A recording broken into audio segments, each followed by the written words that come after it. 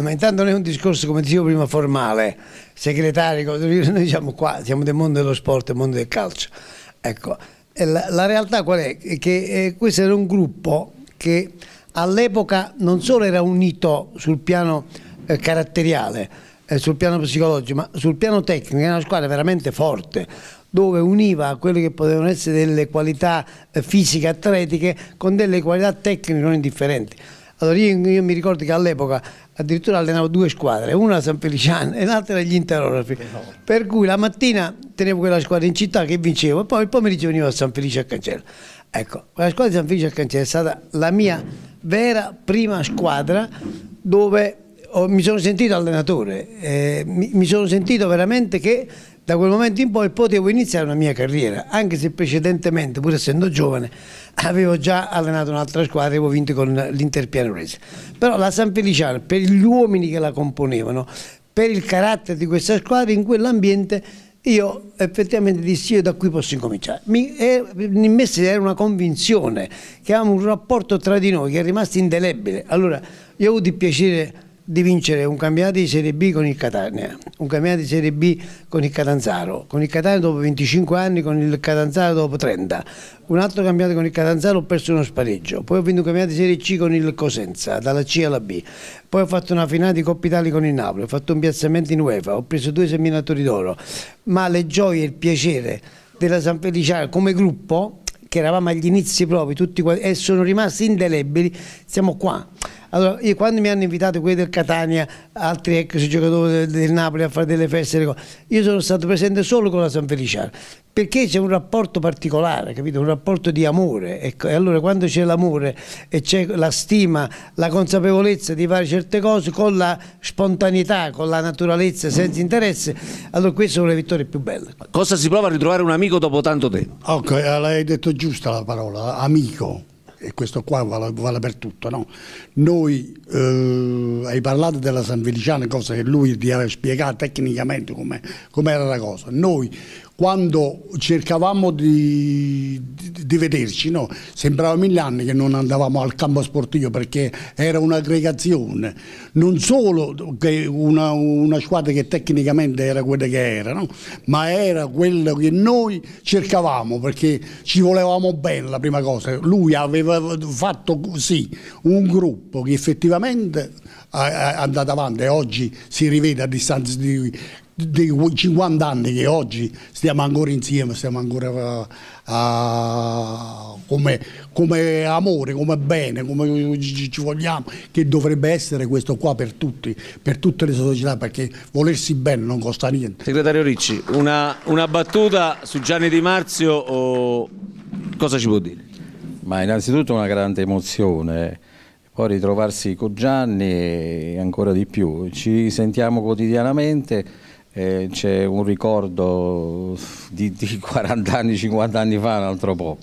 E siamo stati agli inizi insieme, c'era un, un, gruppo affiatatissimo e, e, un grande ricordo. Gianni è stato un grande mister, ma soprattutto un grande amico e un grande uomo. Pasquale, è d'obbligo passare la parola a te per poi parlare col Presidente. Mister Di Marzio, tu meglio di noi conosci come allenatore, conosci come opinionista, conosci un pochino come tutto e soprattutto come te collega tecnico. Che, eh, che, dà Gianni Di Marzio? Ma innanzitutto io ho una grande ammirazione per Di Marzio perché è uno che si è fatto da, da niente, da zero. Mi aveva detto una cosa importantissima prima, cioè riuscire a allenare due squadre per arrivare, la dice lunga, di cosa che capacità aveva di coordinarsi, di, di voler arrivare, quindi l'ho sempre visto una persona da...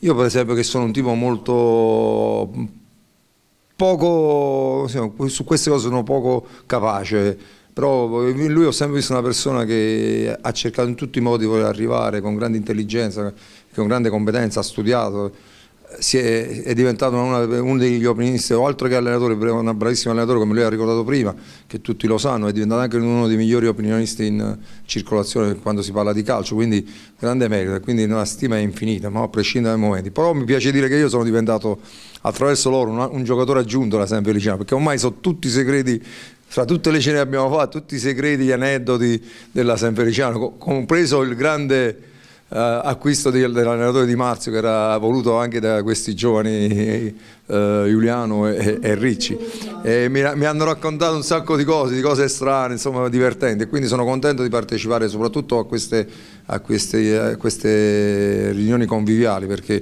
veramente si vede quello che diceva Vincenzo, l'affetto che i giocatori hanno per il proprio allenatore, cosa che raramente succede in qualsiasi posto. a prescindere dalla categoria, però c'è questo affetto che rimane sempre forte, anche quando non c'è il mister, posso testimoniare, nei loro pensieri è sempre quando arriva Gianni, quando chiamiamo Gianni, lo vogliamo portare, proprio loro vivono per quei momenti che a volte per poter stare un po' con il mister, veramente è una cosa, e lo ringrazio al mister perché ha fatto una cosa, fa delle, è, è, è da pochi, molti si dimenticano, soprattutto dei, dei ragazzi diciamo, delle categorie un po' inferiori, invece lui, come ho detto prima, li tiene sempre in testa e al primo posto. Vuoi parlare qua? Vieni qua, nella nostra mezzala, vieni qua. Eh, diciamo che, eh, che, più che il club biancoverde è diventato il, un ritrovo di giocatori e allenatori di uno spessore grandissimo, però una domanda d'obbligo la dobbiamo fare per il club biancoverde. Gianni Di Marzio cosa rappresenta oggi in questo club biancoverde che è sulla bocca di tutti perché è il primo in Valle Caudina e soprattutto è dal 78 che sta diventando grande e ora lo è ancora di più perché finalmente si è data una Costituzione. Cosa rappresenta Gianni Di Marzio oggi?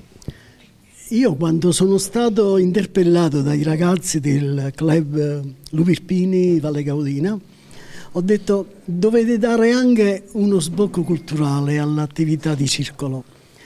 Io per Natale vi porto Gianni Di Marzio. Hanno fatto festa allora e oggi festeggiamo ulteriormente quella...